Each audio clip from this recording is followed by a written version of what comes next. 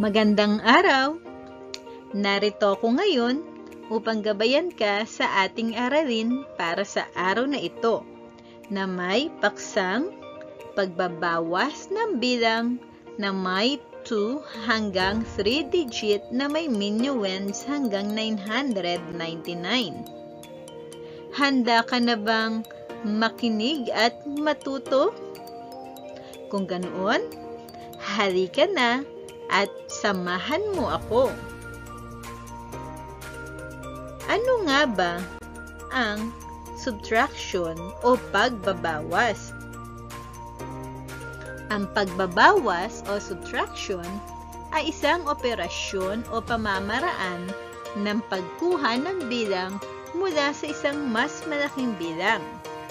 Ang pagbabawas ay maaring gawin ng may pagpapangkat at walang pagpapangkat.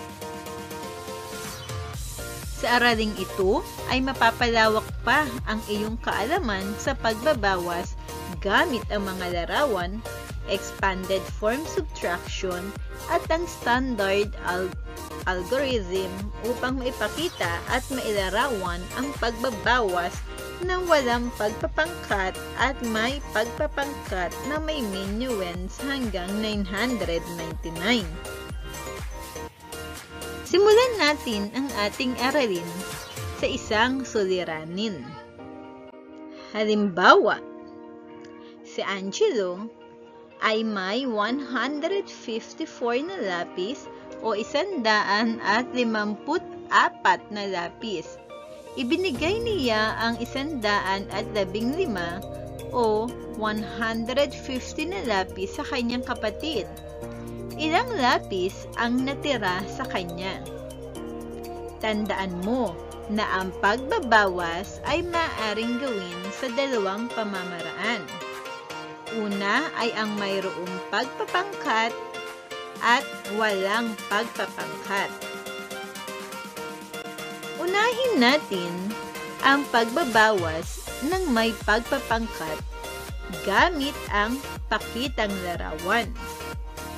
Narito, gumuhit ng 134 na lapis, lagyan ng bilog ang lahat ng naibigay niya na 115 sa kanyang kapatid. Ang mga matitira na walang bilog ay ang magiging sagot. Halimbawa, katulad dito, gumawa ako o gumuhit ako ng 134 na lapis.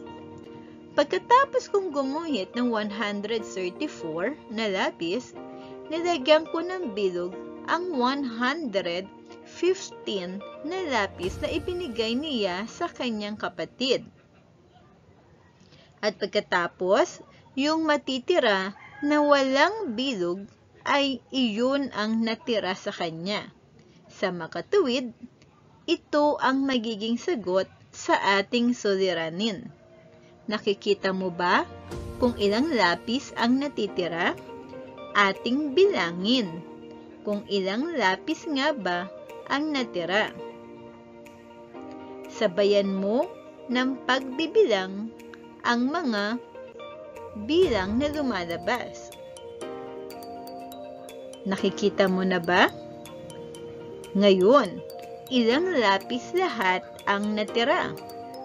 Hindi ba mayroon tayong labing siyam o 19 na lapis? Sa makatuwid, ay mayroong natira sa kanyang 19 na lapis o labing siyam na lapis. At ang sagot natin sa ating suliranin na 134 minus 115 ay 19. Mayroon tayong 19 na lapis na sagot. Ito ang natira kay Angelo. Bago naman tayo sa dalawang paraan. Ito ang paggamit ng pinahabang pamamaraan o ang tinatawag natin sa English na expanded form. Sa halimbawa natin na 134 minus 115, ang 134 ay magiging 100 plus 30 plus 4. Samantalang, ang 115 naman ay magiging 100 plus 10 plus 5. Ganyan natin isulat ang 134 at 115 sa expanded form. Ngayon na isulatan natin sa expanded form, simulan na natin ang pagbabawa sa pamamagitan ng pag-una sa isahan. Ito ay ang 4 at 5. Kung iyong napapansin, ang 4 ay mas mababa kaysa sa 5. Sa makatuwid, hindi natin pwedeng bawasan ng 5 ang 4. Ano ngayon ang ating gagawin? Ang gagawin natin ay manghihiram tayo sa 30 sa sampuan. Manghihiram tayo ng 10 sa sampuan. Ilalagay natin ang 10 sa 4 kaya ito ay naging 14. Samantalang, ang 30 ay magiging 20 dahil binawasan natin ito ng 10. Ngayon, maari na tayong magbawas.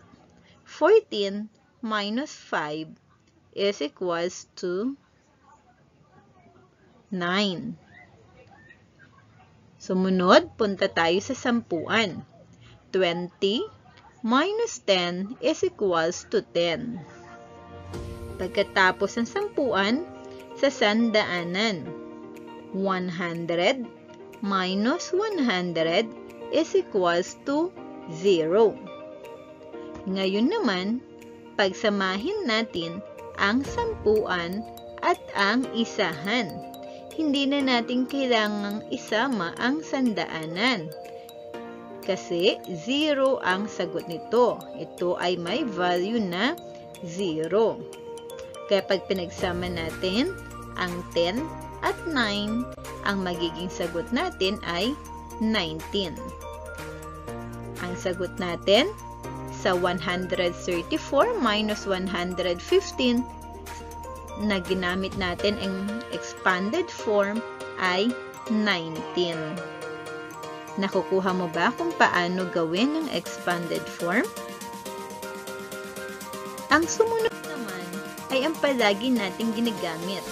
Ito ay ang standard algorithm.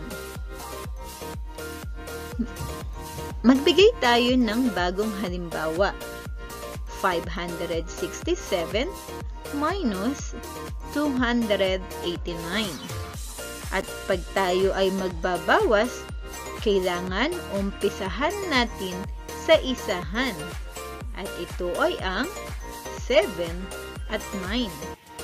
Kung iyo napapansin, mas maliit ulit ang minuend ang 7 kaysa sa subtrahend ang 9. Hindi tayo pwedeng magbawas ng 9 sa 7 ang susunod nating gagawin ay manghihiram muli tayo sa sampuan. Ito ay yung 6 na 60. Manghihiram ulit tayo ng 10 kaya ito ay magiging 5 or 50. Hindi na natin kailangang ilagay ang 0 kasi ito ay nasa sampuan.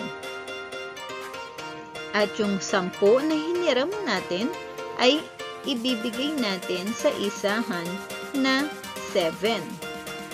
At yung 7 ay magiging 17.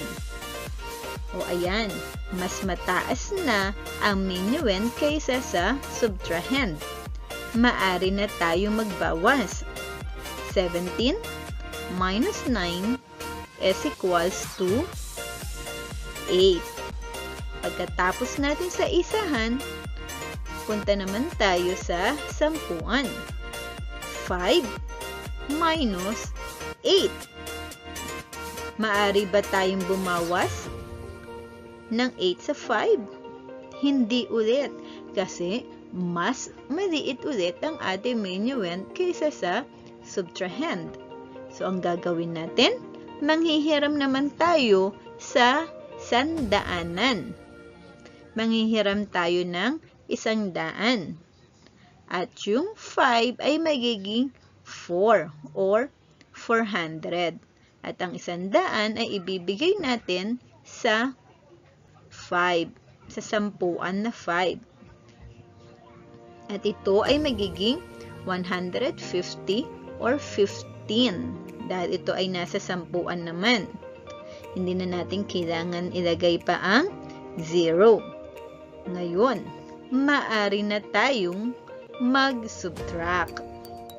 15 minus 8 is equals to 7. 4 minus 2 is equals to 2. Ang sagot natin sa 567 minus 289 ay 278. Nakuha mo ba ang paggamit ng standard algorithm na may pagpapangkat? Magaling!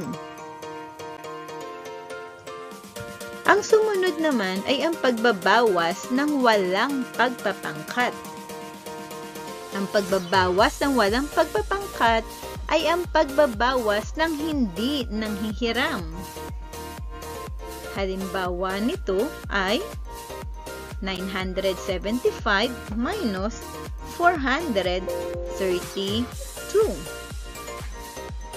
Tandaan, kapag tayo ay magbabawas, kailangan pag magkakatapat ang pare-parehas na place value. So, ang 5 at ang 2 ay nasa isahan. Ang 7 at 3 ay sampuan, 9 at 4 ay sandaanan. Ngayon, naitapat na natin sila sa kanilang mga place value, umpisahan na natin ang pagbabawas. Umpisahan natin sa isahan. 5 minus 2 is equals to 3. 7 minus 3, manghihiram ba tayo? Hindi na, kasi mas mataas ang 7 kaysa sa 3. Mas mataas ang minuend kaysa sa subtrahend. So, 7 minus 3 is equals to 4. Sunod ay sandaanan. 9 minus 4 is equals to 5. Ngayon, ang ating sagot sa 975 minus 432 ay 543. Nakuha mo ba kung paano magbawas ng walang pagpapangkat? Hindi ba napakadali? Ang operasyon na pagbabawas o subtraction ay ang proseso ng pag-aalis o pagtatanggal Suriin natin ang mga bahagi ng subtraction sentence. 336 minus 123 is equals to 213. Ang 336 ay ang minuend. Ang tawag sa bilang na binabawasan. Samantalang, ang 123 naman ay ang subtrahend. Ang bilang na ibinabawa sa minuend. At ang 213 ay ang difference, ang tawag natin sa sagot sa pagbabawas. Samantalang, ito naman ang simbolo o pananda na ginagamit natin sa pagbabawas kung tawagin ay minus sign. At ito naman ang pamilang na pangungusap o ang number sentence. Nauunawaan mo na ba ngayon ang operasyon ng pagbabawas?